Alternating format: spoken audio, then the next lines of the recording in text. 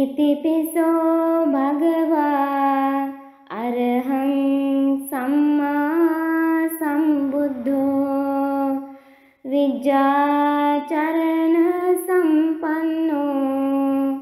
सुगतो लोकविदु अनुत्तरो पुरुषधं सारथि सत्तादेवमनुः බුද්ධෝ භගවාති. මෙහි අර්ථය ඒ භාග්‍යවතුන් වහන්සේ මෙසේද අරහං නම් වනසේක සම්මා සම්බුද්ධ නම් වනසේක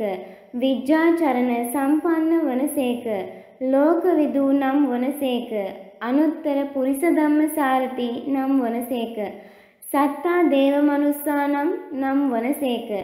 බුද්ධ නම් වනසේක භගවා නම් වනසේක